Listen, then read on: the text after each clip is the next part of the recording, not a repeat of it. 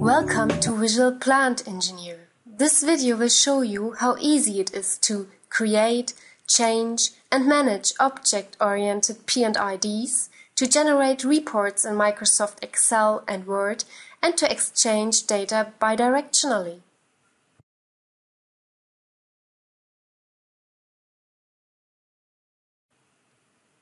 For enlarging the drawing sheet, set a higher width factor and the format size changes automatically.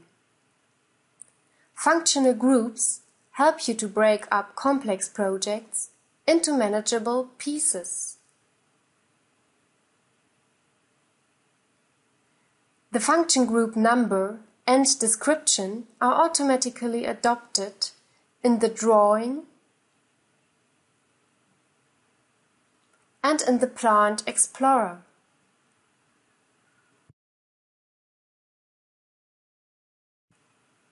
Functional group X200 is clearly assigned to the plant section and to the project you are working in. You draw a diagram by selecting shapes from stencils in the Shapes library and dragging them onto the drawing sheet. All shapes can be easily adjusted in size and orientation using the green selection handles. When you add a shape to a pipe, you will recognize a red frame that marks a close connection point. Connection points link pipes and components firmly together. You can directly type in the function number with your keyboard. However, Visual Plant Engineer allows you to draw the P&ID first and to carry out the numbering later without interrupting your workflow. Depending on where you move the mouse pointer, you have always perfect control of the pipe's optimal alignment. When you drag a component in your drawing, it automatically fits into the pipe and retains the linkage when moved.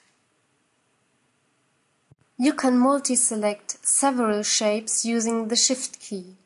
By this means, you can carry out further specification for several shapes at once.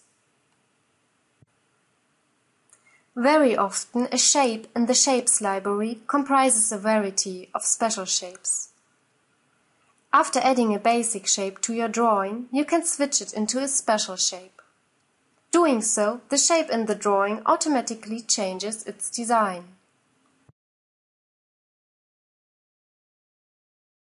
You can easily check whether you numbered all components correctly with the help of the navigation window.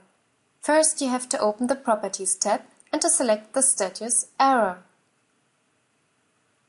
When you now open the Plant Explorer, all components that do not have a correct function number are highlighted in red color. Add the missing function number at the symbol and you will see that in the navigation window the red colored status will turn into normal status. Here you can see that the number P100 exists more than once within the same functional group. Select one of the pumps and change its number into P200. The red highlighting in the Plant Explorer will disappear.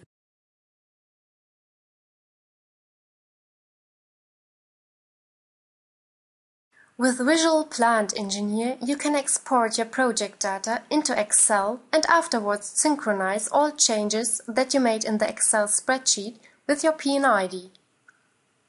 You easily manage your data in the Excel sheet by using Excel features like filters, for example.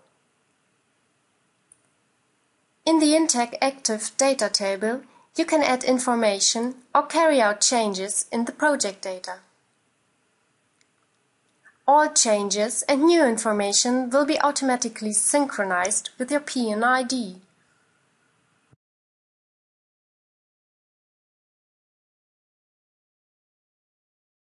At every stage of the planning process, customized reports in Excel and Word can be created automatically. In addition to specific component lists, you can define your own customized lists.